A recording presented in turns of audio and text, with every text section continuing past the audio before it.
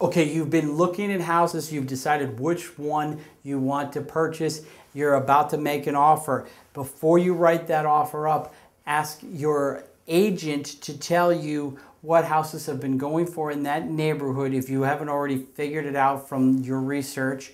You want to get comparable sales for the last 90 days so you can get educated on what that house might be worth uh, especially to an appraiser, uh, you want to find out from your agent if they can find out all the information they can from the listing agent as far as what you're competing against, what other offers are in, how strong do you have to come in. Oftentimes, you have to go above asking and be ready to have to come above asking and to ask for as little few goodies as possible as far as a clear pest, etc. So, be educated, before you write the offer, write the offer and be patient because you might have to write offers on five, six, maybe 10 houses before you actually get a house. So be patient.